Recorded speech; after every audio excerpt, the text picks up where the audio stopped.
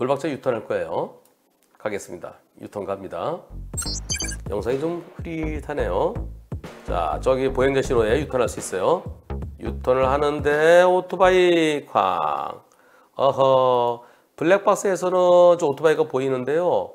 아니 저는 저 오토바이 여기 횡단보도 앞에 서 있는 건 줄 알았어요. 그래서 저는 이제 이쪽으로 돌잖아요. 이쪽으로 돌기 위해서 넘어가는데 아 오토바이가 오네요. 아 이분이 여기에서 대각선을 해서 그냥 쑥 아이쿠 그런데 제가요 바퀴 네 개가 다 중앙선을 물고 돌았네요.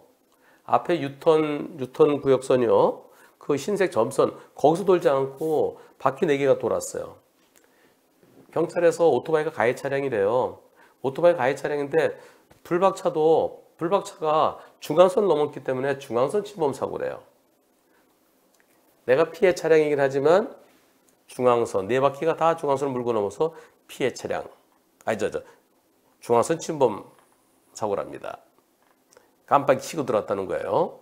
자 여기에 대해서 오토바이 운전자 3조 진단이래요.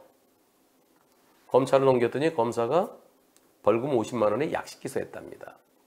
투표해 보겠습니다. 중앙선 침범 사고 맞다. 네 바퀴가 다 중앙선 물었으니까. 아니 그래도 몇 메타만 앞에 들어갔으면 괜찮은데 그리고 반 중앙선 반만 물었을 땐또 중앙선 침범 사고로 처리 안 하죠? 아이고 그래서 몇 메타만 더 갔으면 되는데 자 몇 메타 더 갔어도 똑같은 결과다. 그래서 중앙선 침범 사고 아니다. 투표 시작. 100대 빵이다 아니다 그걸 떠나서요. 과실 비율 여쭈는, 여쭈는 게 아닙니다.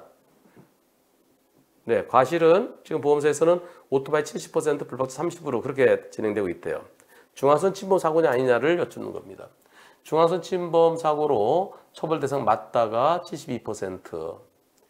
아, 몇 메타만 앞에 갔어도 결과 그래도 결과는 똑같을 것 같은데 라는 측면에서 아, 중앙선 침범 사고 아니다라는 의견이 28% 있습니다. 이분이 운전자 보험에 가입돼 있답니다.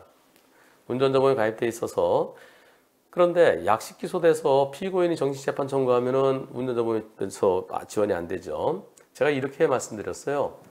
판사한테 좀 의견서를 내시죠. 그래서 판사님, 예, 제가 아, 조금 더 여유 있게 돌아서는 그러지 못한 건 잘못했습니다. 하지만 거기서 몇 메타만 딱 더 갔으면은 그 불과 한 2, 3m만 더 갔으면 되는데 제가 그걸 못 가서 이렇게 한 거. 이것이 과연 신호 위반한 오토바이 사고인데 제가 중앙선 침범 처벌받는 게 맞는지 이걸 좀 법리적으로 좀 다퉈보고 싶습니다.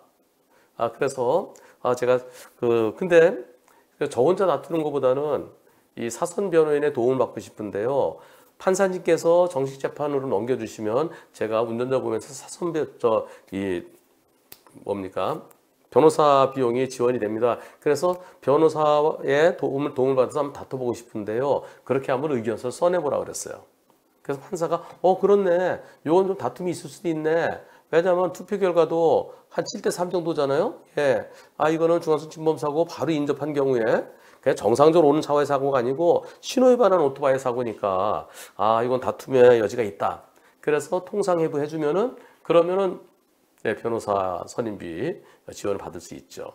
판사가 그렇게 안 해주면 안 해주고 그냥 바로 약식 명령 내려면 그러면 본인이 본인이 이제 정식 재판 청구해야죠. 그래서 본인이 싸워 보십시오. 그리고 그때 국선 변호인 선정 신청 한번 해보세요. 그렇게 된다면 나중에 결과 어떻게 나올지 결과 꼭 알려주십시오.